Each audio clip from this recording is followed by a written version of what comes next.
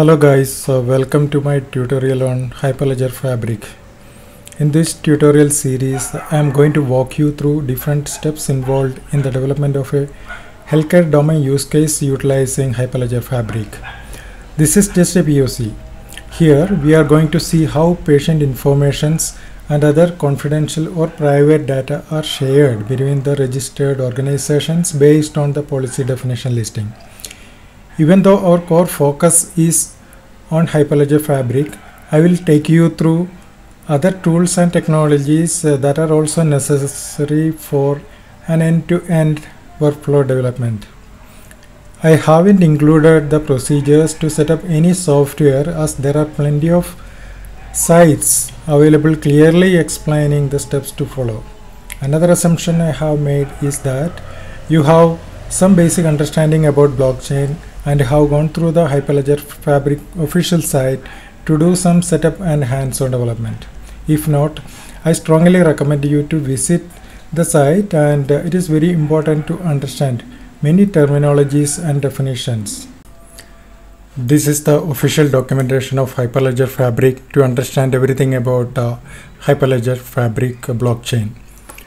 So the you have to go to, to this uh, getting started uh, to download uh, the samples and uh, binaries. So here you can go through the instructions to download samples, Docker images and binaries because we are going to use all these uh, binaries to build our blockchain application. Let's have a quick overview of the tools and technologies used to build this application. So these are all the list of uh, tools or technologies uh, which we are using to build the end-to-end -end application.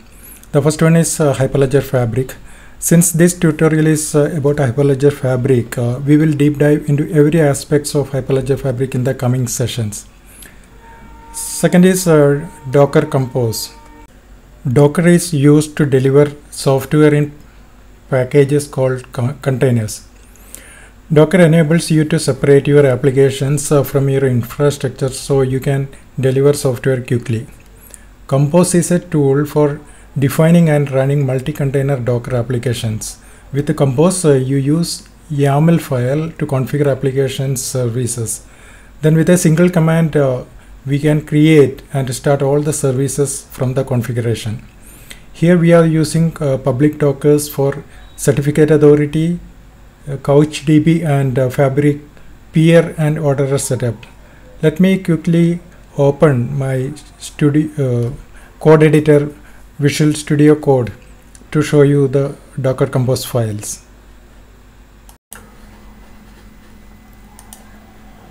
These are the Docker Compose files we are using to host Docker images for different services. This one the certificate authority uh, we are using Fabric CA. This is a public Hyperledger image for all the organizations.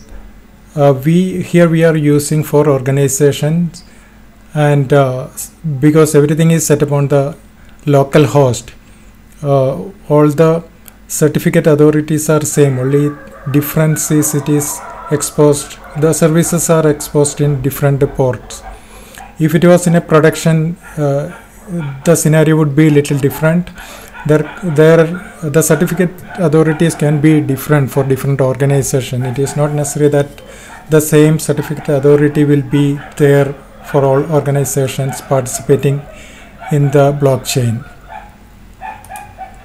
Uh, this is uh, for uh, CouchDB, the state server for different organization. Here also the same images are used for uh, CouchDB, Fabric CouchDB.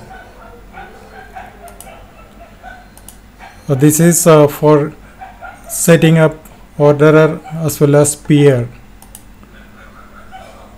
the image used is uh, fabric orderer for orderer service and uh, fabric peer for uh, peer services so these are all the images which we used to build our application couchdb is an open source document oriented NoSQL database CouchDB allows you to store data in JSON format, issue JSON queries against your data, and use indexes to support your queries.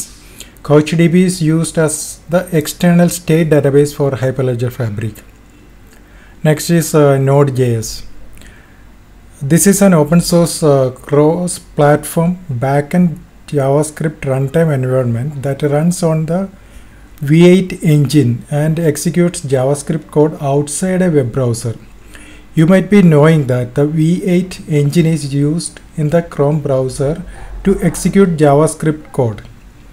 Node.js runtime environment has been built by removing browser specific libraries and adding libraries required to perform server side operations. In our application context, Node.js is used to provide API to interact with Hyperledger Fabric blockchain. It will perform the first level of user authentication and act as a gateway to the Fabric smart contracts. Next is uh, React.js. This uh, framework has been used to build client application web interface. You can use any JavaScript framework of your choice to develop client applications. Uh, the last one is IPFS, Interplanetary File System. This is a peer-to-peer -peer storage network for storing and sharing data in distributed file system. Content is accessible through peers located anywhere in the world. Storing files in the blockchain is very expensive that will completely slow down the network which is not at all desirable. That's why we are using IPFS an external storage system. IPFS knows how to find what you ask for using its content address rather than its location. IPFS is uh, not using URL to locate the file but instead of URL it is using content address because it's a distributed file system.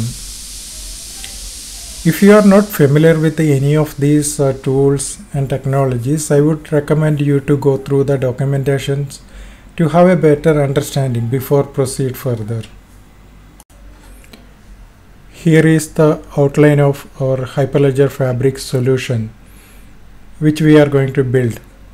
The responsibility of blockchain operator things like uh, create the certificates, create channel, add organizations, deploy chain code, etc. And uh, here is our Hyperledger Fabric blockchain and there are smart contract built inside this uh, blockchain. Node.js uh, server application will invoke the smart contract uh, deployed on the blockchain and uh, the web application client interface React.js web application will invoke the APIs exposed by this Node.js server application. This is our private blockchain consortium comprising of four organizations and uh, one ordering service. The organizations are hospital, laboratory, pharmacy and insurance provider. I'm not going to uh, deep dive into each individual components because in the uh, coming tutorials we will be discussing and implementing each components in detail. Before we wind up this introduction video, let me show you the Fabric healthcare network which we are going to build in this tutorial series. Using npm start command, I am starting the client application built in React.js. By default, uh, it will open in localhost port number uh, 3000. As we are deploying the blockchain and all associated services in the same local server, there are some additional functional functionalities being added to manipulate the real world scenario which may not be applicable in production environment. This user sign up button has been provided to enroll a new user to access the blockchain network for any of the four registered organizations. This is a common page built for all the four organizations. In the production scenario, there will be individual applications running for each organization. This is just to mimic user enrollment process for the organizations. Entering an email ID,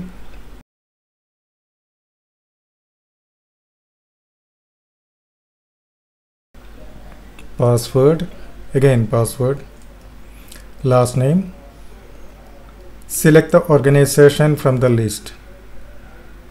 I'm selecting hospital uh, uh, and the role as a doctor click on sign up uh,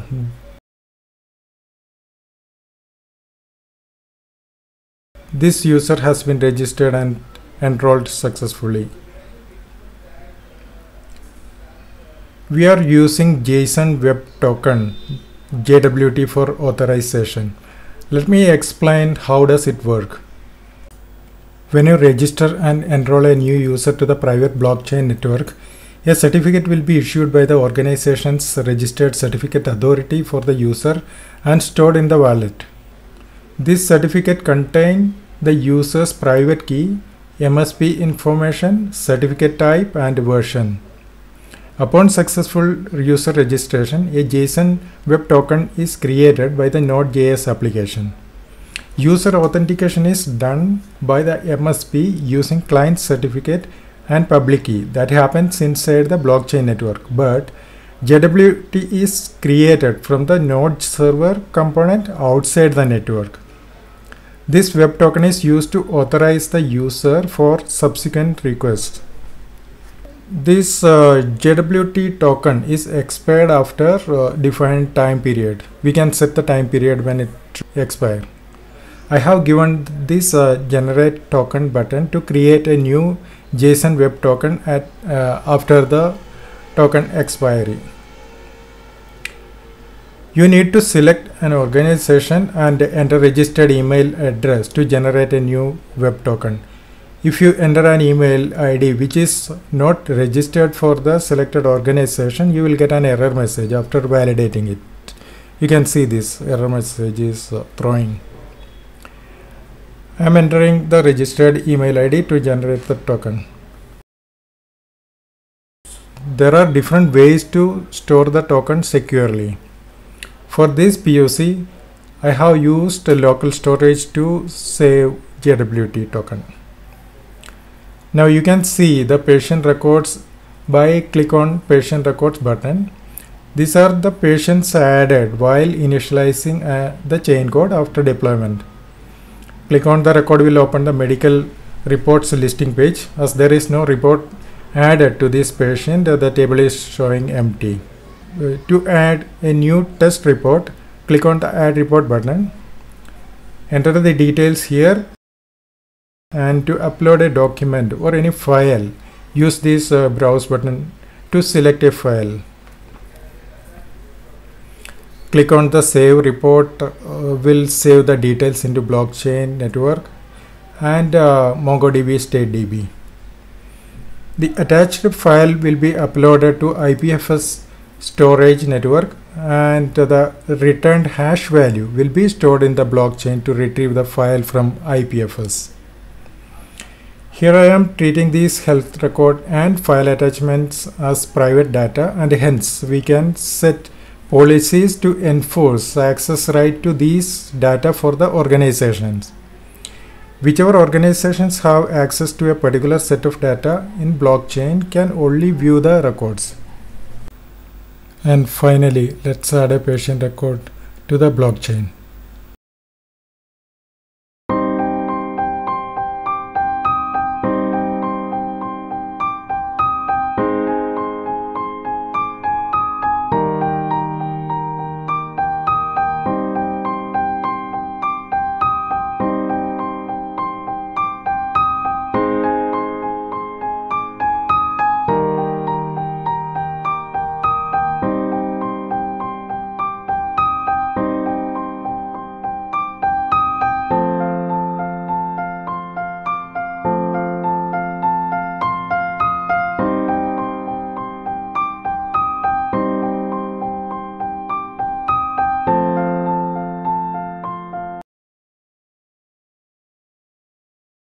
Let me open the CouchDB database to see the records inserted.